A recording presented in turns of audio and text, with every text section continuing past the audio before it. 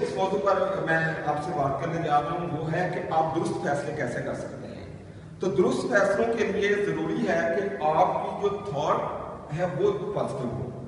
اگر thought negative ہے، تو آپ کی فیلنگس نیگیٹو ہو جائیں گی۔ اور جب فیلنگس نیگیٹو ہوتی ہیں، تو آپ کی امیجنیشن بھی نیگیٹو کرتی ہے۔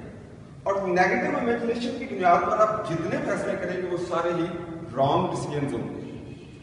تو ہم کیسے پھر جو ہے وہ ڈیسیجنس کو مثبت کر سکتے ہیں، اچھے فیصلے کیسے کر سکتے ہیں؟ تو اس کے لیے ہمیں پازیٹیو تھاٹ چاہیے۔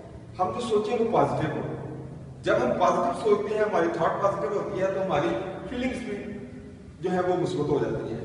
اور مثبت فیلنگس کی بنیاد پر جو امیجنیشن بنتا ہے مائنڈ میں وہ پازیٹیو ہوتا ہے۔ اور پازیٹیو امیجنیشن جو ہے وہ ہمارے جو فیصلے ہیں، ان کو درست کرنے میں ہماری مدد کرتا ہے۔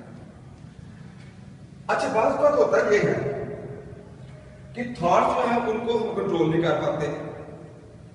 تھاٹس کو کنٹرول کرنا ہمارے لیے مشکل ہوتا ہے۔ تو اس کے لیے میں آپ کو آسان حل بتا دیتا ہوں کہ آپ یوں کریں کہ آپ اپنی فیلنگس کو بدل لیں، اپنے احساس کو بدل لیں، اپنے احساس کو پازیٹیو کر لیں۔ اور جو ہی آپ کا احساس پازیٹیو ہوتا ہے، تو یہ دیکھیں کہ احساس جو ہے یعنی پازیٹیو فیلنگ جو ہے، وہ دونوں طرف اثر انداز ہوتی ہے۔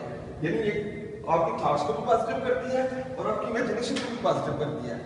اور positive thoughts positive imagination positive جو ہے فیلنگس